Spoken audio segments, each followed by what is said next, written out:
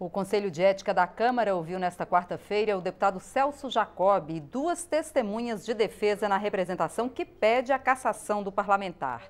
Jacob foi condenado pelo Supremo Tribunal Federal por fraude em licitação destinada à construção de uma creche em 2003, quando ele era prefeito do município de Três Rios, no Rio de Janeiro. Abel Zanardi foi vereador do município de Três Rios, no Rio de Janeiro.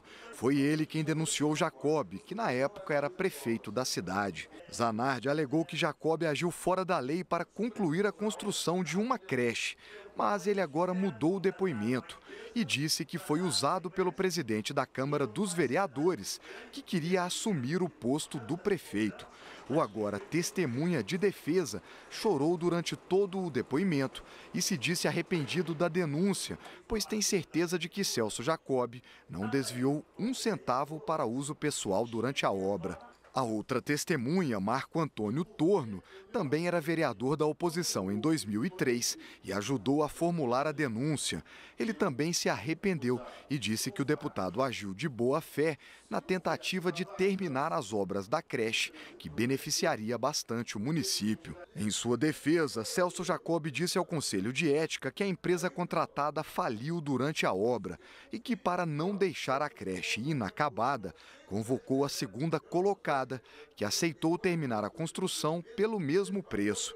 Jacob lembrou que a creche está sendo usada até hoje, com mais de 100 crianças matriculadas. O parlamentar garantiu que foi condenado simplesmente por ter convocado a segunda colocada, ao invés de fazer uma nova licitação.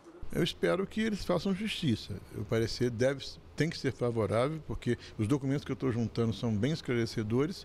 Eu, eu, eu, espero absolvição, sim, no Conselho de Ética. Eu espero a minha absolvição, com certeza, na minha revisão criminal, que vai sair. Vai sair uma hora, não posso garantir quando. Eu confio na justiça, porque o caminho para o cidadão de bem é a justiça. Então, eu, eu confio na justiça. Eu acho que a justiça vai acontecer. Eu espero que seja o mais rápido possível. Com a reunião de hoje, se encerrou a fase de instrução.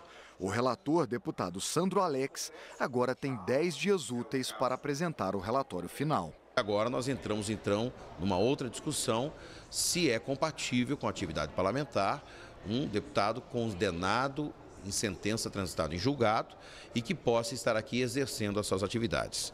Esse fato é relevante, mas é pretérito ainda da sua atividade parlamentar. Ele o fez como prefeito e os seus eleitores, mesmo sabendo do processo, o elegeram deputado federal.